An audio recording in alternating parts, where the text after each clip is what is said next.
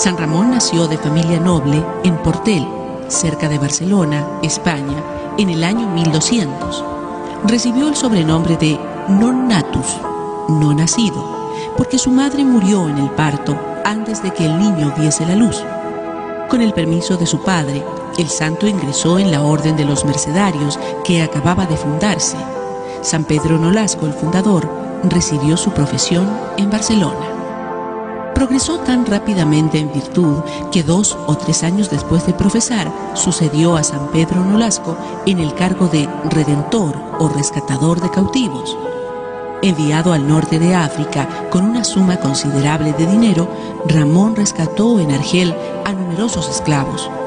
Después se ofreció como rehén por la libertad de ciertos prisioneros cuya situación era desesperada y cuya fe se hallaba en grave peligro. Pero el sacrificio de San Ramón exasperó a los infieles, quienes le trataron con terrible crueldad.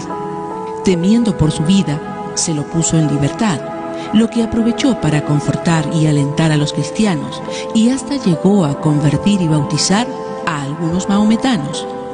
San Ramón encaró dos grandes dificultades.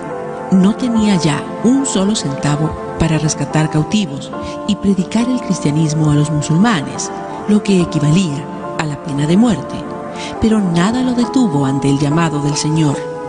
Consciente del martirio inminente, volvió a instruir y exhortar tanto a los cristianos como a los infieles. El gobernador entonces ordenó que se lo azotase en todas las esquinas de la ciudad y que se le perforasen los labios con un hierro candente. Mandó ponerle en la boca un candado cuya llave guardaba él mismo y solo la daba al carcelero a la hora de las comidas.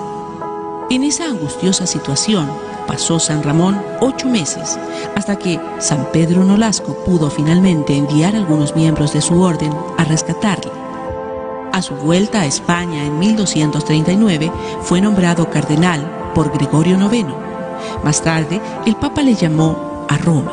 San Ramón obedeció, pero emprendió el viaje como el religioso más humilde. Sin embargo, Dios dispuso que solo llegase hasta Cardona, a unos 10 kilómetros de Barcelona, donde le sorprendió una violenta fiebre que le llevó a la tumba. Murió el 31 de agosto de 1240. Cardona pronto se transformó en meta de peregrinaciones. Fue sepultado en la capilla de San Nicolás de Portel. El Papa Alejandro VII lo incluyó en el martirologio romano en 1657. San Ramón Nonato es el patrono de las parturientas y las parteras debido a las circunstancias de su nacimiento.